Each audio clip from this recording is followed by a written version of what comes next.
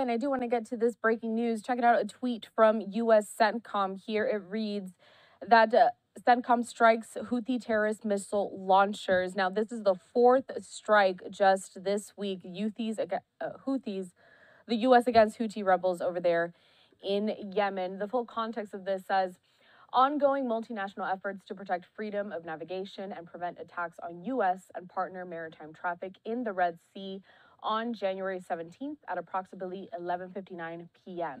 U.S. Central Command forces conducted strikes on 14 Iran-backed Houthi missiles that were loaded to be fired in Houthi-controlled areas in Yemen. I'd like to bring into the conversation now national security analyst, retired Marines intelligence officer Hal Kempfer. Hal, another strike against Houthi targets in Yemen. Now, this is the fourth one after Houthis attacked a U.S. ship earlier this week.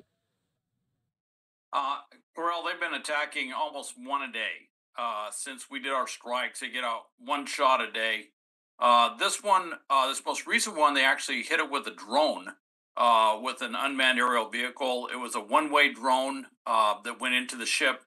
Uh, they've also been using ballistic missiles, but there's something that we've been doing is we've been picking up when they put those missiles on the launchers. And once we see them pull the missiles out, they're getting ready to put them on the launchers. We launch a strike mission. Now, this one today looked like mostly Tomahawk missiles, from what I can ascertain. May have been all Tomahawk missiles. There was something about the British may have done something with the strike mission. It's tough for the British to do anything with a uh, uh, a aerial strike mission since they have to fly all the way out of Cyprus, which is a very long mission. A lot of aerial in-flight aerial refueling. So I'm not quite sure if that's correct. This one looks like mostly Tomahawk missiles. They're right off the coast. They're they're fast. They're they're darn near impossible to stop once they're going in. And they hit those sites and they took out 14 uh, missiles. And I, it's difficult to say exactly what's going on, but it's likely that there are missiles and drones that are held in uh, bunkers or caves or something where they have them in such a way that they weren't hit the first time. So as they pull these things out of wherever they had them uh, safely stored and they're exposed, we pick up on that with our intelligence, surveillance, reconnaissance systems, and we immediately put together a, t- a quick response target mission, and and that's what happened there. Now this one that happened today was right after this the uh, uh, the Houthis were put on the uh, specially designated global terrorist list. Uh, that's still not as uh, as legally powerful as what they were on before under the Trump administration, which is a foreign foreign terrorist organization. But it is, but it has put them into the terrorist realm, which gives us a lot more freedom of movement in terms of going after uh, finances uh, and and specifically blocking uh, Houthis from traveling around. I should say those traveling around who are part of this Houthi terrorist organization from traveling around the world, uh, from uh, from doing things in a in a business context, if you will, but especially the financial side, uh, blocking uh, money and other things that could go to them, and also taking actions against those who support the Houthis, uh, other countries, and uh, using that as a justification for various different instruments to to basically curtail their activities. So there there is some teeth to this. obviously the discussion is will they raise it all the way up to the foreign terrorist organization status? Uh, there's there's a lot of discussion that that's in the works, but we haven't seen anything yet. And I've heard it kind of go back and forth. Originally, I said this was the first step to going to FTO. Then more recently, I've heard well, we're looking at that. I'm not quite sure where that's going to end up, but that's seems to be where they're going. Hal, I do want to continue to talk about all of the tension that's escalating in the Middle East. This week, big news: Iran hitting Syria, Iraq, and Pakistan with missiles. Uh, Pakistan condemning the strike, calling it, quote, unprovoked violation of its airspace and saying it will retaliate. My question is was it unprovoked, and what is that retaliation going to look like? I, don't know what the retaliation is going to be. Uh, that's a really big question. And, you know, uh, Pakistan's got a very substantial military capability. Uh, I would also mention that Pakistan is a nuclear nation. Uh, I'm not saying they could use nuclear weapons against Iran, but I am saying that they are not some a country to be trifled with in terms of their military power. Now, what they hit was they hit a. Uh, it's basically it's a, a Baluchi uh, group uh, if you will, Sunni, not Shiite. The predominant religion in, in Iran and the theocracy in Iran is is Shiite.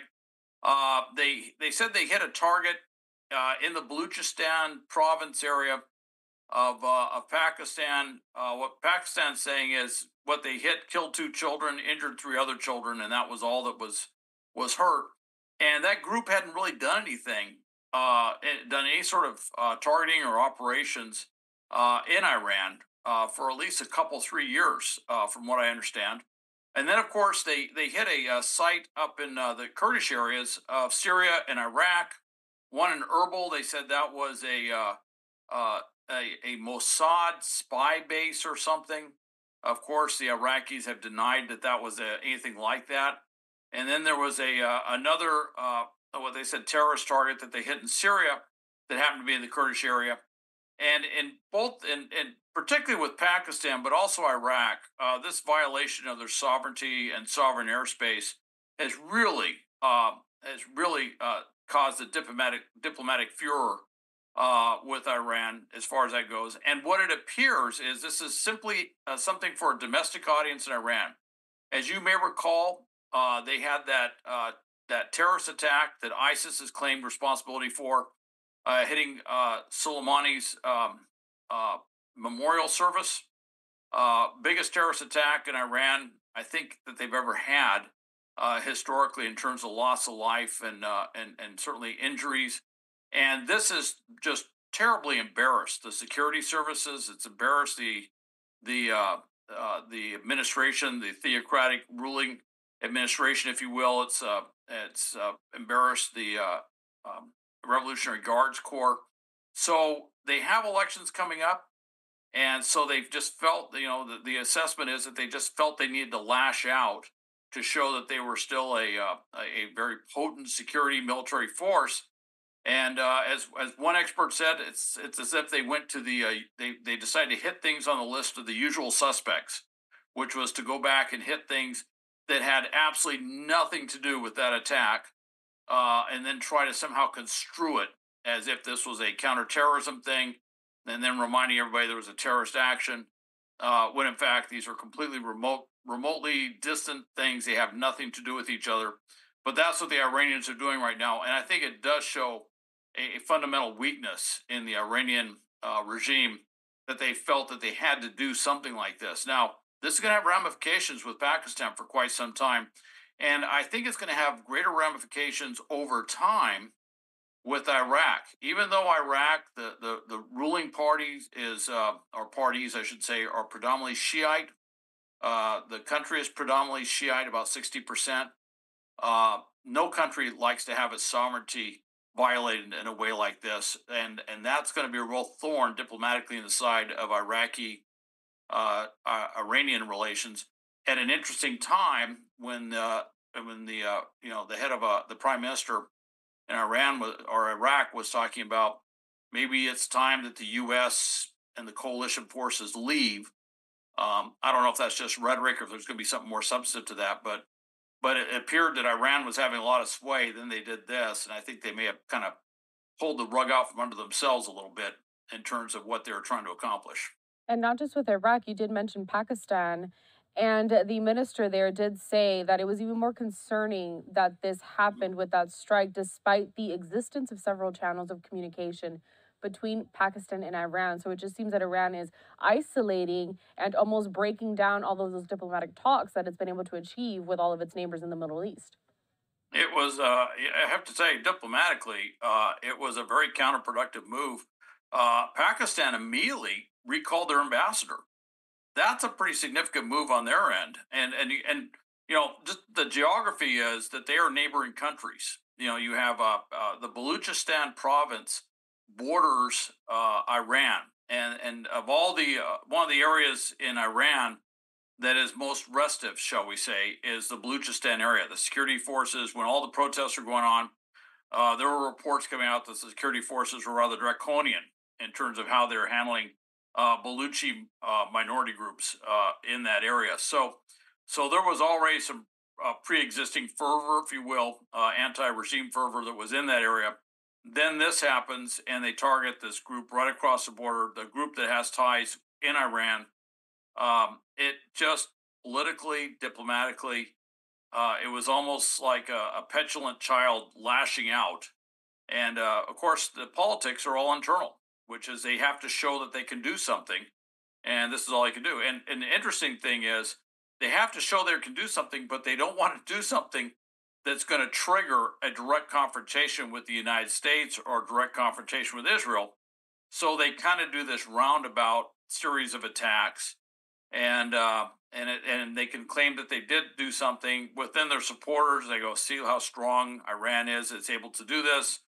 Uh, but the regime is still pretty much disassociated with the vast body politic, if you will, uh, in, in Iran. And one of the problems they're having there is uh, this upcoming election may have uh, historically low voter turnout because people are just so frustrated with the regime. All right, Hal, I do want to move on. I mean, there's so many topics that we can discuss here when it comes to the Middle East, especially with these latest Iranian attacks. But let's get back to almost this uh, catalyst from right in the beginning started October 7th because Israel and the Hamas war, it's kind of what has started this entire turmoil turmoil in that region. We did get news today that medicine is en route to hostages in Gaza. What does this process look like? How long is it going to take for that medicine to actually reach hostages there? You know, it's interesting. I was watching that today. There was a uh, some uh, video of trucks coming in, and they said there was medicine coming in. I think that was medicine for for Palestinian civilians that are in the Gaza Strip. Uh, that was aid that was coming across the border and everything I've seen is that the the medicine for the forty some hostages that are on medication, Israeli hostages on medication, that that is still en route. That that has not gotten in there. And as near as I can figure out, and I was kind of looking at this today, uh, it appears it goes in there, and then at some point it gets handed off to Hamas.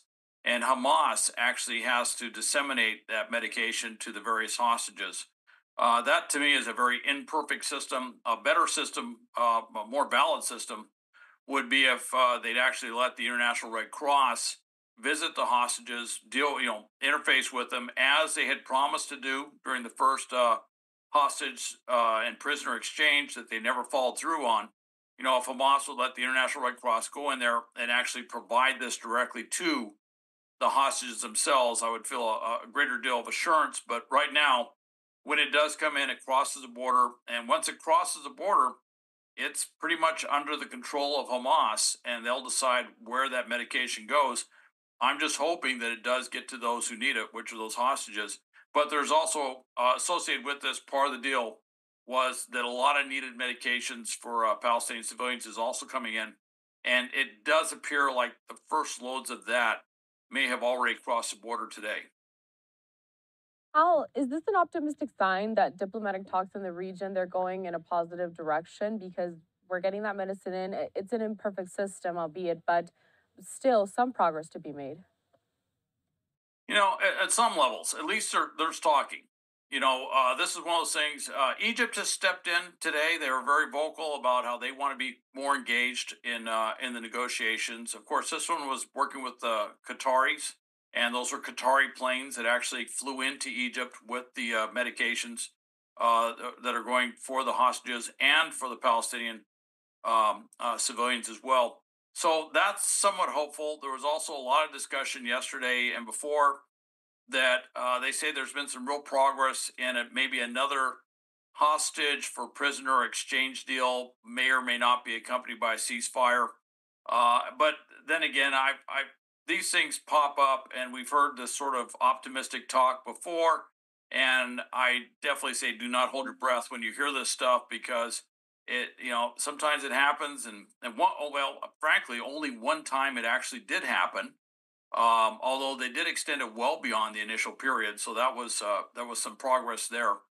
Uh, but the other side of that is, you know, they just they videotaped three hostages, and then they killed two of the Israeli hostages that were in the videotapes. Now, I believe they blamed an Israeli airstrike. They always do blame an Israeli airstrike when when hostages end up getting killed, and uh, and of course uh, it takes a while because eventually they'd have to find you know the uh, the remains of the hostages and be able to do something forensically to figure out what exactly happened. But uh, uh, but you know, they're basically everything coming out there says that you know the, the hostages are in a very tenuous situation every day, and uh, and Hamas is not above executing hostages. So uh, it's it. Uh, there's room for optimism, but on the other hand, everyone knows the clock's ticking, and they want to get the hostages out because the longer they're there, uh, the lower and lower their chances of survival.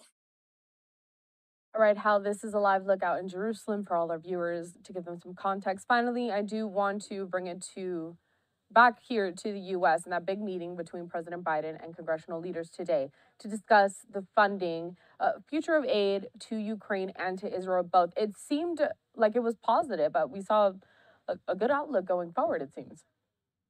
Well, it's interesting. Um, generally speaking, everybody came out. They were all very talking very positive and stuff.